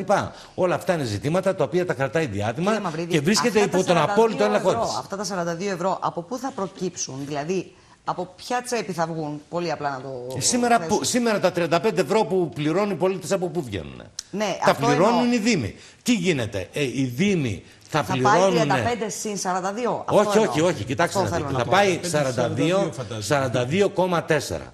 Θα σας πω κάτι άλλο. Για να, για να κατανοήσουν οι πολίτες. Για να το κατανοήσουν οι πολίτες. Θα πληρώνουν 42 με την επεξεργασία. Είναι, το επιβάλλει η κοινοτική νομοθεσία. Το επιβάλλει έτσι, η νομοθεσία η ευρωπαϊκή και δεν μπορούμε να κάνουμε διαφορετικά. Εάν δεν κάνουμε μηχανική επεξεργασία, κοιτάξτε τι θα γίνει. Α υποθέσουμε, κάνουμε μια υποθετική εργασία ότι δεν προχωράει η διαδικασία αυτή. Και ότι κάνουμε συνέχεια πάλι την, έτσι, αυτή που κάνουμε την ταφή. Τη μέθοδο που έχουμε. Τη ναι. μέθοδο που έχουμε, την υγειονομική ταφή. Λοιπόν, ε, εδώ και έχει περάσει νόμος όπου ε, ε, ε, ε λέγεται το τέλος ταφής έτσι, ότι θα πληρώνει 32 ευρώ συν 35 ευρώ, αυξανόμενο κατά 5 ευρώ το χρόνο μέχρι του ποσού των 60. Άρα δηλαδή να υπολογίζει ο πολίτης, εάν δεν γίνει μηχανική επεξεργασία, λοιπόν 32 και 35, λοιπόν στα 70, περίπου ευρώ έτσι, 67 συν 5 ευρώ ανά χρόνο θα φτάσει. Βάλε. Αυτή, κοιτάξτε να όχι, κοιτάξτε, κοιτάξτε να δείτε. Μισό λεπτό, διευκρινιστικό. Τα έσοδα που θα υπάρχουν από την πώληση του ε, προϊόντος που θα παράγεται εκεί ε, δεν θα λειτουργήσουν και αυτά ε, έτσι ώστε να μειώνεται το κόστος; Όχι, κοιτάξτε να δείτε. Την ανακύκλωση την κρατάει αποκλειστικά και μόνο η διάδημα. Ναι, την ανακύκλωση. Αν μου λέτε για τα ανακυκλώσιμα υλικά, των σύμμικτων δηλαδή, ναι.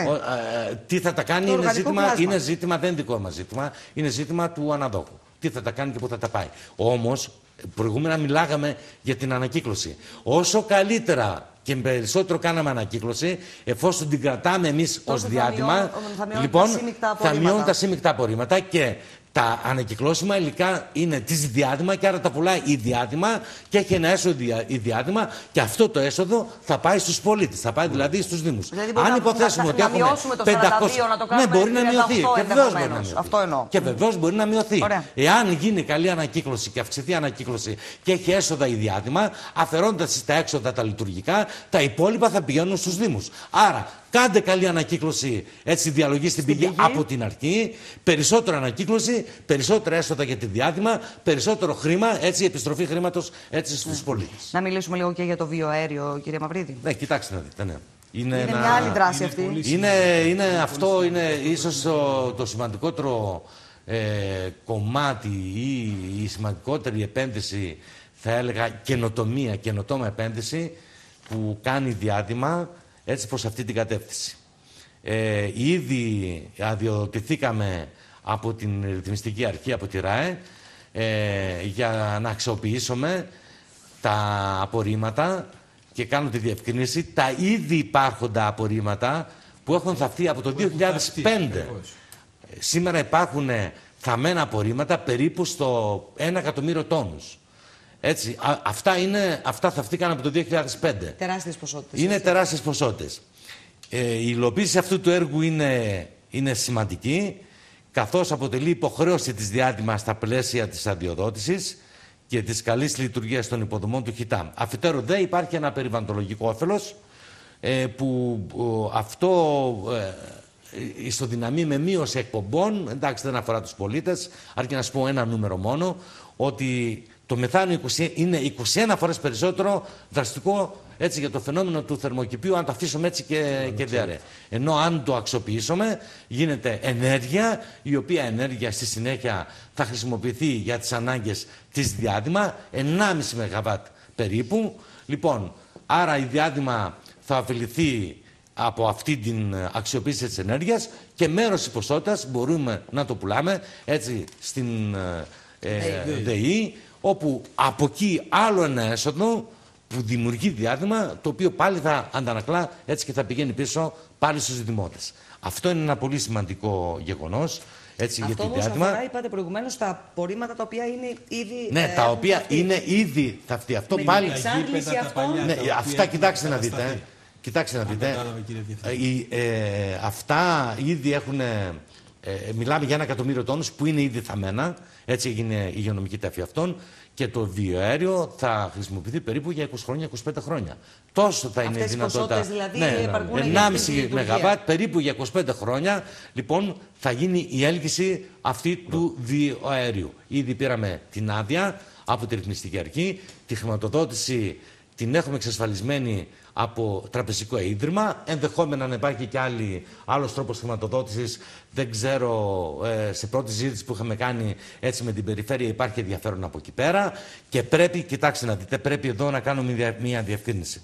Ότι ε, η, το βιαέριο του ΧΙΤΑ αφορά απορρίμματα που ήδη έχουν θαυτεί και σχετίζονται και, και δεν σχετίζονται με το έργο της μονάδος της μηχανικής και βιολογικής επεξεργασίας έτσι, των σύμμικτων απορριμμάτων ε, ε, που γίνεται. Δεν έχει καμία σχέση το εργοστάσιο αυτό έτσι, με την ε, άδεια της ε, ΡΑΕ ε, του βιαέριου που πήραμε.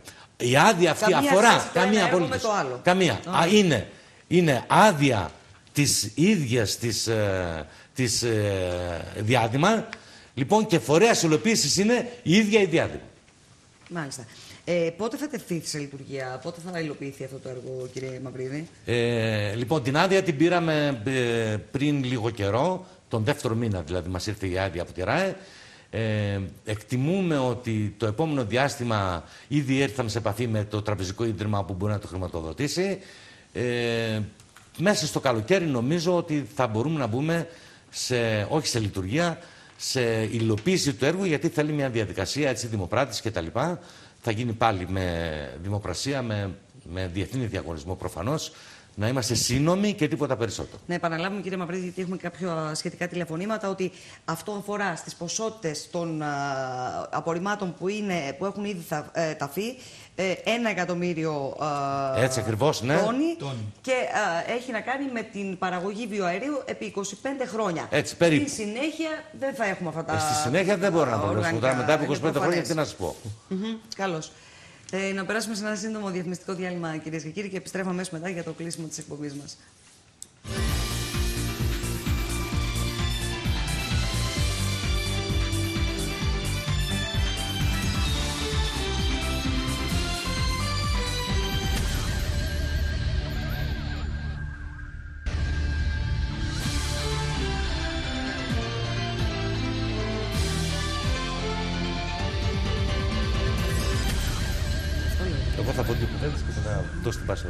Επιστρέφουμε κυρίες και κύριοι στην εκπομπή μας για τα θέματα της διαχείρισης απορριμμάτων. Πολλά νέα δεδομένα, πολλά νέα στοιχεία.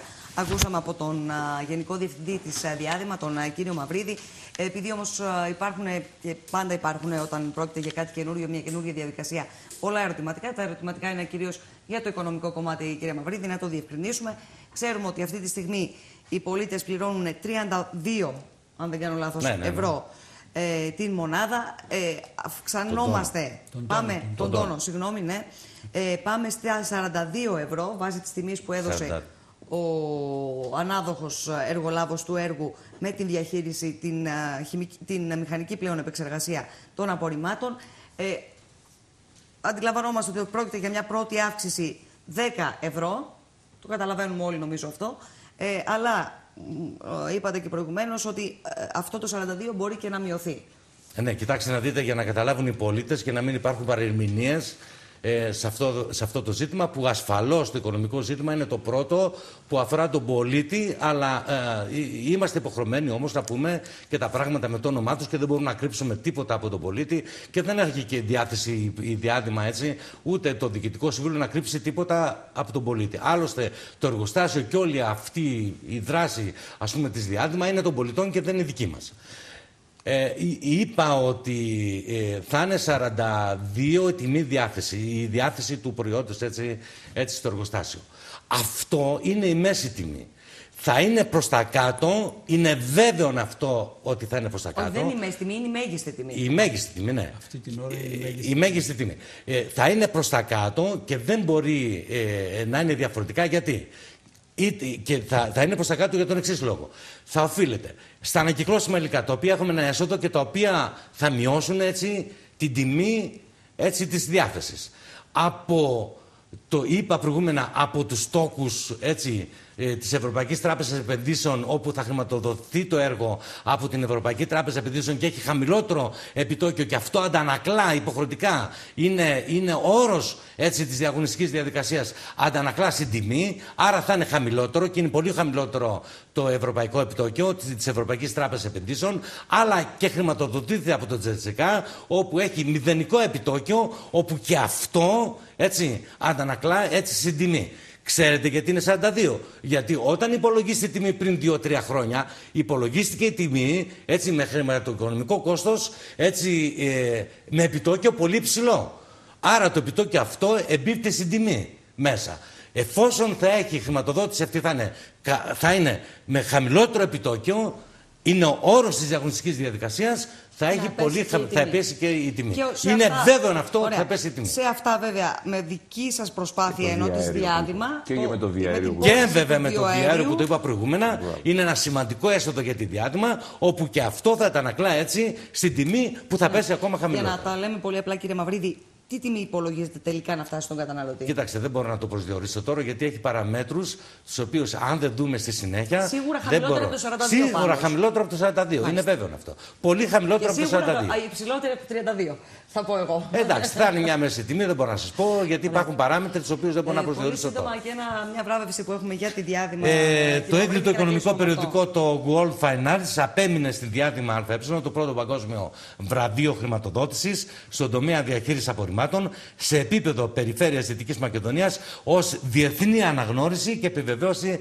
της επιτυχούς εφαρμογής του θεσμού του ΣΔΙΤ έτσι, από τα πιο προοδευτικά στην Ευρώπη. Αυτό βέβαια έτσι δίνει κουράγιο στη διάδημα στο Διοικητικό Συμβούλιο. Δεν αφορά μόνο τα στελέχη, αφορά και το Διοικητικό Συμβούλιο, τον Πρόεδρο και όλα τα μέλη που περάσανε έτσι, α, και τους, κατα... και τους Προέδρους που περάσαν κατά καιρούς από τη διάδημα.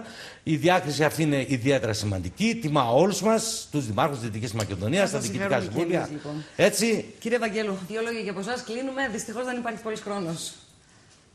Θεωρώ πολύ σημαντικά αυτά τα οποία μας ε, είπε τελευταία ο Γενικός Διευθυντής. Γι' αυτό και καταναλώσαμε ο τον χρόνο. κύριος- Ζητώ συγγνώμη από τους ο υπόλοιπους κύριος ομιλητές. Νομίζω Μαυρίδης. όμω ότι ακούσαμε αρκετά Επιτρέψτε ενδιαφέροντα μου πράγματα. να πω ότι είναι πάρα πάρα πολύ σημαντική η διάκριση αυτή την οποία ανέφερε προηγουμένως αλλά και θεωρώ εξίσου σημαντικό από την πλευρά μου την αδειοδότηση την οποία κατάφερε και πήρε από τη ΡΑΕ ε, σε σχέση με την εκμετάλλευση θα έλεγα του εκλειόμενου βιοαερίου το οποίο από την άλλη πλευρά δημιουργεί προβλήματα στο περιβάλλον και πιο συγκεκριμένα στο φαινόμενο του θερμοκηπίου γιατί είπατε προηγουμένως ότι κάπου 21 φορές περισσότερο είναι πιο δραστικό ως προς το φαινόμενο του θερμοκηπίου σε σχέση Επιβαρυντικό. επιβαρυντικό. Επομένως πρέπει από την πλευρά μας, εφόσον αναφερόμαστε σε θέματα περιβαλλοντικά, να δείξουμε την ανάλογη ευαισθησία, έτσι ώστε και οικονομικό όφελος θα έχει η διάδημα από τη λειτουργία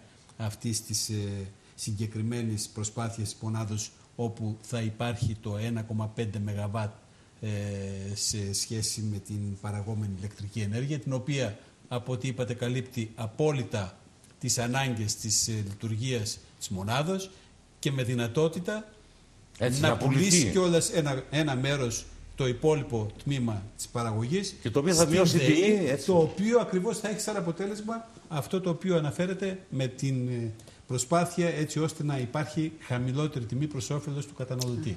Και αυτό νομίζω ότι είναι. Αυτό η είναι το μεγάλη, βασικότερο. Αλλά και η ε, προστασία του περιβάλλοντος, να μην ξεχνάμε Κυρίως, την, κυρίως το ε, περιβάλλον ασφαλώς τον αρχικό σ- Και στόχο. βέβαια, όταν υπάρχει και το δεύτερο και το πολλαπλό όφελος, ακόμα καλύτερα. Ακόμη για όλους- καλύτερα. Για όλους Έτσι. μας φυσικά. Κύριε Παλάσκα. Ε, εγώ θα ήθελα να συγχαρώ καταρχήν το Διοικητικό της Συμβούλιο της Διαδημά για αυτές τις πρωτοποριακές ενέργειες και τα πρωτοποριακά συστήματα που μας ανέφερε ο Διευθυντής της Διάδημα, ευελπιστώντας και αυτό που εμείς θέλουμε είναι η μείωση όσο γίνεται περισσότερο του κόστους για τους δημότες, γιατί είναι ένα ζητούμενο τη σημερινή εποχή και σε αυτές τις εποχές της κρίσης που ζούμε. Να αναφέρω και εμείς ότι ως Δήμος έχουμε προχωρήσει σε συνεργασία με το Πράσινο Ταμείο στα υπόγεια συστήματα ανακύκλωσης και συμπίεσης των ε, σκουπιδιών. Είναι ένα πρωτοποριακό σύστημα, είναι ένα δείγμα πολιτισμού, θεωρώ, με μηδενικό κόστος για το Δήμο μας. Από εκεί και πέρα θα πρέπει να αναφέρουμε ότι όλες αυτές οι εργασίες γίνονται από εργάτες. Εγώ οφείλω δημόσια να ευχαριστήσω το εργατικό προσωπικό το οποίο εργάζεται τόσο στο καθαριότητα όσο και στο πράσινο. Έχουμε μια αψογότατη συνεργασία. Είναι παιδιά παρεξηγημένα. Όσοι δεν έχουν δουλέψει σε μείον 10 βαθμούς θερμοκρασία πίσω από απορριμματοφόρο και με σκούπα δεν μπορούν να αντιληφθούν και να καταλάβουν την εργασία που κάνουν αυτά τα παιδιά. Εγώ τους ευχαριστώ δημόσια και να γνωρίζουν ότι θα είμαι δίπλα τους οτιδήποτε θελήσουν και οτιδήποτε διεκδικήσουν. Από εκεί και πέρα, σε συνεργασία με αυτούς, κατορθώσαμε ως Δήμος να ικανοποιήσουμε τα αιτήματα όλων των τοπικών προέδρων, και το, λέω, το τονίζω αυτό όλων, παρόλο τα προβλήματα, τη μείωση προσωπικού κτλ. Και κατορθώσαμε επίσης να ικανοποιήσουμε κατά 90-95% τα αιτήματα των Δημοτών. Και όλα αυτά γίνονται σε συνεργασία με τους εργάτες, τους οποίους πραγματικά θα ήθελα για ακόμη μια φορά να ευχαριστήσω και όπως να ευχηθώ στη Διαδημά να πρωτοπορεί, να συνεχίζει έτσι να, με πρωτοποριακά προγράμματα με σκοπό τόσο το περιβάλλον, την προστασία του περιβάλλοντος, όσο και Την εξυπηρέτηση. την εξυπηρέτηση των δημοτών. Ε, μία κουβέντα θα μου επιτρέψεις λίγο να πω για αυτό Κύριε το ζήτημα. Μαυρίδη. Μία κουβέντα, συγγνώμη. Ε, για το ζήτημα των εργατών, πραγματικά, επειδή έχουμε άμεση σχέση με τα παιδιά, λοιπόν, η προσπάθεια που καταβάλουν είναι τεράστια, είναι φιλότιμη, είναι συνεργάσιμη και εμείς προσδοκούμε έτσι στην δική τους την προσπάθεια, όπου όλοι μαζί μπορούμε να πετύχουμε αυτό που εμείς επιδιώκουμε, διάδημα, δήμοι και εργαζόμενοι μαζί. Κυρία Διάφα, νομίζω θα έχετε αρκετή δουλειά στο μέλλον α, σαν α, κέντρο προστασίας καταναλωτών α, με αυτά Σίγουρα τα θα νέα έχουμε. δεδομένα. Σίγουρα θα έχουμε. Ε, καταρχήν θέλω να πω ότι είναι ευπρόσδεκτη οποιαδήποτε ε, δράση αναβαθμίζει το περιβάλλον της περιοχής μας. Και δράσεις καινοτόμες και καινούργια σχέδια και όλα αυτά τα οποία είπε ο κύριος Μαυρίδης, τα οποία ε, δεν μπορούμε να πούμε ότι δεν είναι ευπρόσδεκτα και ότι δεν αισθανόμαστε τουλάχιστον ανακούφιση, τουλάχιστον επειδή αποφε- αποφεύχθηκε και η καύση με όλα αυτά τα οποία είπε ο κύριος Μαυρίδης και πάμε σε καινοτόμες ε, ε, μορφές ε, ε, αντιμετώπισης το, του προβλήματος των απορριμμάτων. Από εκεί και πέρα όμως, ως εκπρόσωπος μιας καταναλωτικής ένωσης, θα ήθελα να πω ότι ε, το θέμα της ε, τιμής, ε, τ- ε, της, ε, τιμής την οποία ανέφερε ο κύριος ε, Μαυρίδης σε σχέση με το κόστος ε, το οποίο θα επιβαρύνει τον καταναλωτή είναι ένα ζήτημα το οποίο οπωσδήποτε είναι ιδιαίτερα ευαίσθητο και ιδιαίτερα στις, ε, στην περίοδο την οποία διανύουμε διότι εμείς καθημερινά δεχόμαστε πάρα πολύ μεγάλη πίεση. Ο, οι συμπολίτες μας έχουν πολύ μεγάλο ε, πρόβλημα και καταλαβαίνετε ε, δυσκολεύονται και να κατανοήσουν πολλές φορές την αναγκαιότητα αυτής της αύξησης, ε, στ- η οποία θα επέλθει στην τιμή.